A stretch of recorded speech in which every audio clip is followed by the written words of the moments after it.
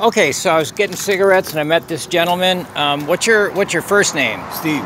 Steve. And and um, how long you been in Boise? Uh, 33 years. Wow.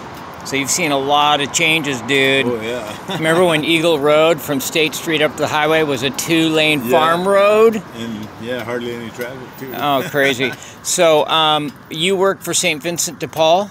Right, the food bank. Oh, you just work for the food bank? Yeah, yeah. You don't work in the thrift stores? No, no, no. Okay, and you've been with them for how long? About four months now. A little over four months. Awesome. So, um, I noticed on the back of your vest, can you turn around for me? It says, I'm working to prevent homelessness. Awesome. So, why did you go to work for St. Vincent de Paul? Well, I started just doing charity work. Oh, okay. and then they hired me How long were you doing charity work for? about three months. Okay. Oh, wow. Sweet, dude.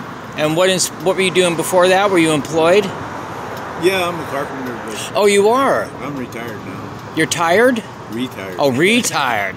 Being tired and then tired again. Okay, so you do you enjoy what you do? Oh yeah. Wh- why?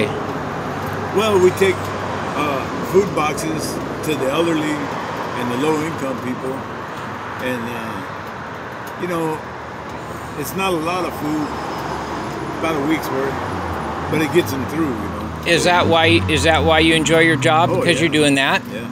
Oh yeah. Definitely. Cool, dude. I love giving away free food. Have you been, ever been in a pinch where you needed help? Oh yeah. Me life. too. Me too. poor All my life, so Oh, you have been. food means a lot. Okay, carpenter. Yeah. Sweet. Sweet.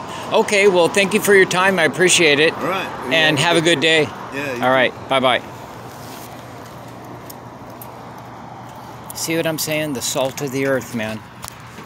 The salt of the earth. That's what it's all about humility. That inspires me to be a more humble human being. What a great guy. Oops. Yeah. Okay.